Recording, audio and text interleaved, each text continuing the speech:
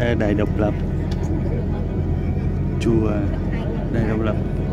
Xin nước viên cái cái cái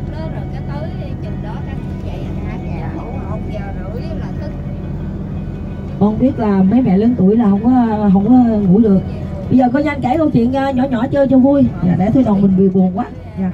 đi ờ, đi tour mà buồn thì chẳng có có vui. À, ở, ở, ở có cái tour thì cũng có người Việt Nam người nước ngoài. Dạ cái à, ông à, Việt Nam này ổng à, ở đi chung một người nước ngoài trong cái tour của mình thì anh chị thấy thường thường ở Sài Gòn tourist này ạ, là thường thường nước ngoài rất là nhiều. Nhưng mà tour này thì không có nước ngoài.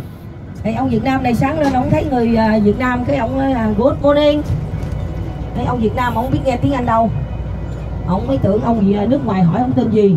Ông nói là Nguyễn Văn Đực à, trả lời. Cái ngày mai à, ông nước ngoài vậy nữa.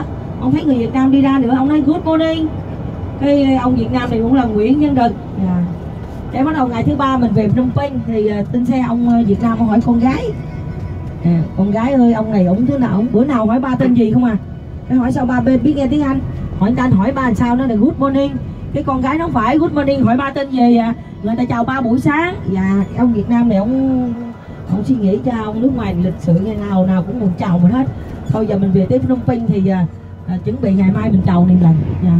Cái về Phnom Penh cái ngủ cái sáng dậy sớm tắm rửa sạch sẽ xong đón phòng ông này. Ông ông đứng cái chờ trước phòng ông nước ngoài này.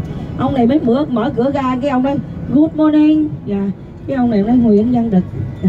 Ông tự hỏi ông lại tên gì